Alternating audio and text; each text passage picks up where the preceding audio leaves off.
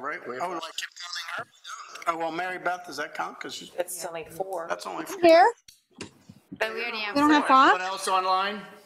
We need five for a quorum. Robin. I'm here, Robin. all right, we're going then. Good. Pledge of allegiance, please. I pledge allegiance to the flag. of the United States of America and to the republic for which it stands, one nation, under God, indivisible, with liberty and justice for all. Righty then, roll call, please. Mr. Bova, I am here. Mrs. Cerucci, I'm here. Mrs. Delaney, Mrs. Delaney, Not here. no, Mrs. McBride, She's not here. Miss Mungo, Here. Mr. Ritter, Dr. Singh. Here. Mrs. Warning. Here. Is anybody else logged on? I just did roll call. Or Zoom. I'm gonna text John. I he- I don't know if he was confused. Yeah, did he tell anyone he might not be here? Hold on, I'll, I'll call him. He might be swimming. It looks like Leslie McBride is on.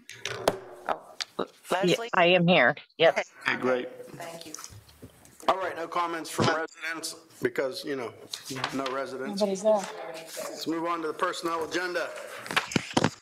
The personnel agenda, uh, we have some action items for tonight. I'll turn it over to Andrea. Absolutely.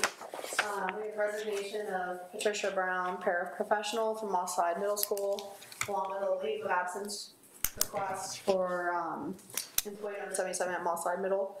Then additionally, we come to the board with a formal rec- recommendation for the principal at CSE of Serene Bay. And then a substitute food service worker that has been identified and vetted by, um, both Patty and Martin in the food, in the food service department.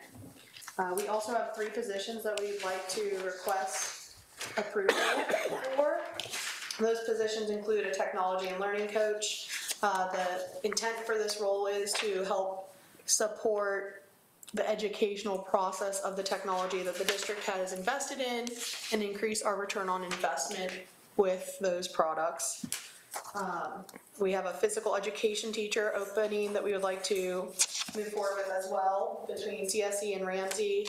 Um, The class sizes have increased significantly, and at this time, we've been splitting classes into multiple groups to be able to attend specials. So this would alleviate that stress. Um, and then additionally, with CSE, they have an increase in special need numbers at this time.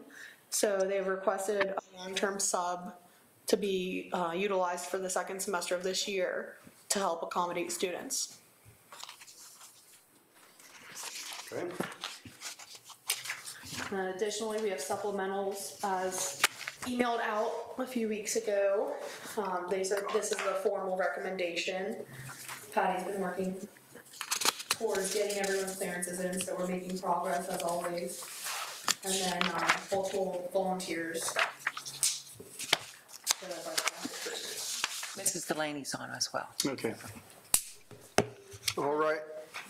I'm sorry, go ahead. Anything else? You can see that there's um, a job description for the technology and learning coach Right. behind this agenda. So right here, a motion to, uh, Motion. motion made, seconded by Dr. Singh. Do we have any questions? You start, Ms. Warning. I'd start.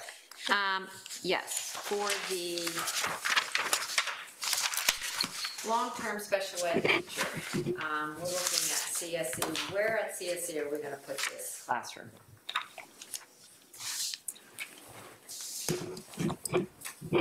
I do not have that information, but I can get that for you.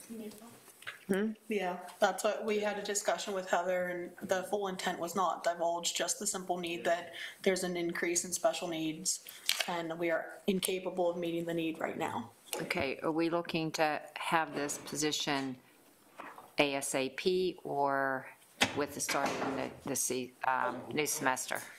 The intent was start of new semester. Okay. So where is this teaching done now? You're, you're saying it as if, in a way that makes it sound like there's, there's no place to do this education right now. I can speak on that. Currently, right now, the teachers are working with the students. Um, as we look at students that are currently in the process of being identified, and as we've seen some move-in students, we also know that potentially there will be additional students uh, that will require special education services. So this position uh, would be to start the second semester. Um, I just want to assure everyone that the students that are currently receiving the support do have special education teachers there working with those students. Are they going to require paras in this classroom? Those are things that we'll have to look at those individual education plans to determine those specific needs. Okay, thank you. So the description of long-term special ed, have we had uh, employees before with this description, long-term? Yes, Whatever. yes, this So- is um, looking at a, just a permanent substitute teacher for the remainder of the second semester. Okay. Any other questions? Dr. Singh, Robin Mungo. So the, um, the, the technology and learning coach. So right now, there is no such person. Correct. So this, this technology that you've referenced and devices that we have at the moment, they're being utilized to any extent or Yes, perhaps I could have uh, Dr. Rossi provide a little bit more input about this. that would be lovely. We've had uh, a full-time technology coach. It was a couple years prior to COVID, but it was a grant, it was grant funded. Um, But now with the influx of technology, we're essentially, we are a one-to-one. We have over 4,000 devices. Um, Every curriculum piece we have um, essentially touches a software program that is connected. Um, and So we, we really need some job embedded coaching, professional development and training to, to really uh, utilize these programs and devices we have to, to their fullest potential. In service days, you know, we have what, four, three or four a year, that's kind of one and done. We really need some, something working with the teachers, co-planning and, and doing those sorts of things to, to really get the technology to, to use it effectively as we can. And we also um, factored in that this position uh, essentially would be close to a net zero cost. Uh, We have a retirement uh, in a media specialist over here at uh, Moss Side Middle School, Karen Casaselli. And we'd be looking to fill that person with a long-term substitute, and of course, a difference in salary there. Uh, And then uh, whoever may bid on this position, of course, would have a long-term sub. So uh, the salary potentially would be almost a net zero. Okay. And tell us about the um, principal. I'm Sure there'll be lots of questions about how many people did you interview, how many responded? Why don't you give us that kind of rundown? Round one, I believe we interviewed five or six candidates. I think. No, four, sorry. We had four candidates that we, or no, five, because we had one towards the end, sorry, five, misspoke. So we had five round one candidates, and then we moved forward with three for round two. And Miss Bay was our only candidate that proceeded to round three. So she must have had a pretty good uh, chance at that point. Yeah, absolutely. Yeah, but, That um, was a joke, Heather. Yeah, I know. She was by herself. You know, I, I can say, and I, I know Dr. Rossi was in there as well, that uh, uh, she, she brings some valuable experience um, coming from Penn Hills. Uh, We, we did do some reference checks, uh, reached out to the superintendent there and uh, uh, almost, uh, I'm not saying in tears, but very upset that uh, they would be losing this individual from Penn Hills. Did they give a release date on her by chance? Not yet. Uh, Typically, after uh, the individual is hired, I would reach back to uh, Dr. Hines at Penn Hills and discuss this. Okay, any other questions? Um, I just want to comment because I did watch those interviews and I think she had a lot to bring and a lot of good responses as me not being an educator, I understood what she was saying and, and her her vision and her knowledge. Excellent. Anything else? Bonnie? Mrs. Cerrucci. Mary Beth, Mrs. Cerrucci. Hang on. Oh. I think I'm on mute. Okay. Aye. Mrs. Delaney? Mrs. Delaney? Aye. Mrs. McBride? Aye. Miss Mungo? Aye. Mr. Ritter? John says aye. Dr. Singh? Aye. Mrs. Warning? Aye. And Mr. Butler? Aye. Motion carries. Thank you. What else you got, Dr. Short? That is all we have for tonight. Oh, I'm sorry. I Looking missed right that. at it. I missed that. Come on, man. I was going through the job description thing, and that was the last item. Yeah, we got an administrative report. There we go, administrative report. Uh, Dr. Rossi, you want to take, uh, I'm sorry, Mike? Dr. Rossi doesn't want to. Yeah, you don't want to touch that, you don't want to touch that change order. Stab stab him with my energy. Thank you, Dr. Short. Item one, approval of change orders Gateway Middle School renovation project construction fund for the 22-23 fiscal year. Approve the change orders for Shipley Plumbing Company, a total net amount of $41,280.90 as depicted below. Description of the work, replace double combo water fountain sinks with individuals water fountains per Allegheny County. Total net change order $41,280.90. Note, the total change orders, if the, if the above change order are approved, the net change order for Gateway Middle School renovation project will be two million, two hundred seventy-nine thousand, ninety-six dollars and four cents. Item two, approve the, approval of the installation of new metal doors at the Gateway High School door opening number 22. Funds coming from the fund balance general fund for the 22-23 fiscal year. Award the bid of installation of a new metal door at the Gateway High School door opening number 22 to AG Morrow Company. Includes hardware, special hollow metal door and frame, and the installation. Total bid price installed is $15,630. Item three, approval of the installation and repair of a new metal doors at the Gateway Sports Complex funds coming from the fund balance general fund for the 22-23 fiscal year. Award the bid for the installation and repair of door openings 5, 11, 12, 13, 14, 15, 16, 17, and 18 at the Gateway Sports Complex to AJ Morrow Company. Includes hardware, special hollow metal doors and frame and installation. Total bid price installed is $66,860. Thank you, Mike. Just for clarification purposes, um, the, the- the first change order regarding the water fountains. Uh, Mike, do do you want to elaborate on this a little bit, that essentially it's, it was spec'd? It was spec, uh, pretty much from what, I- from my gather, the architects dropped the ball and it should have been originally single fonts was with code and everything else.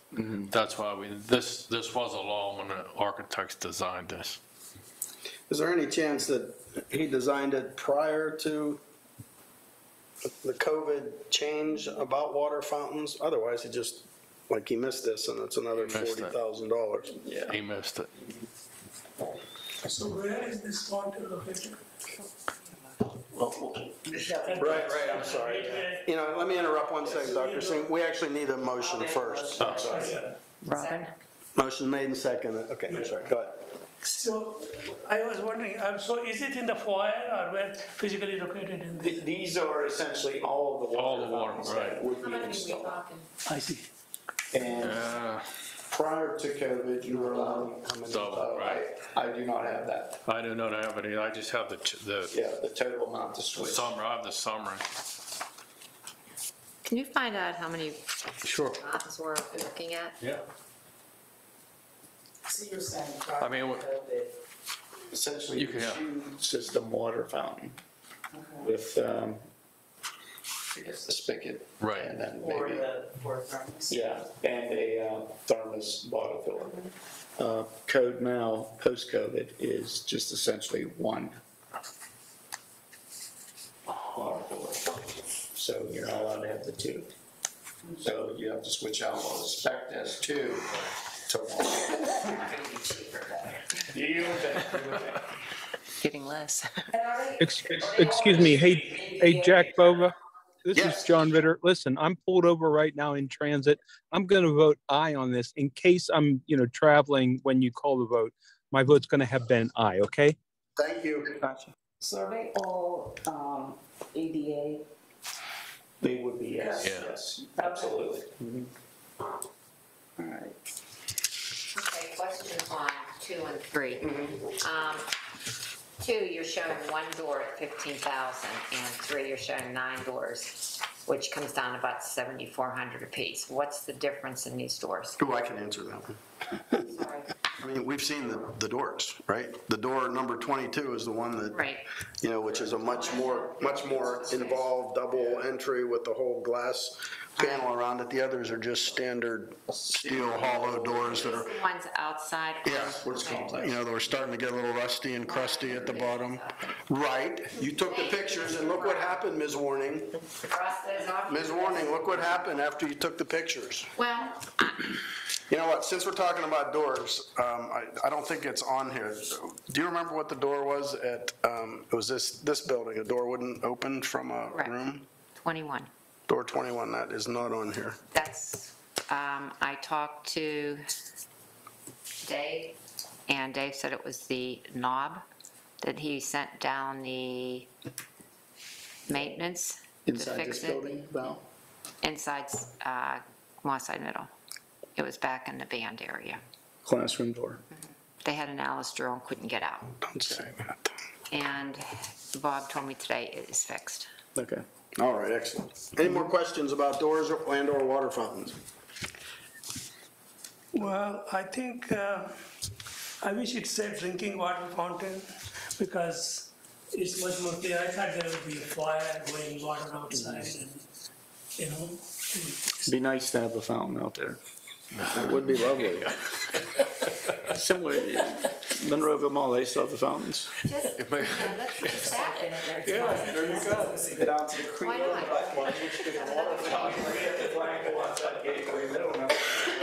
That's a wild one out there. And you have some fish and a gator in it. There you go. I like that. Might be cheaper to get everybody a bottle of water.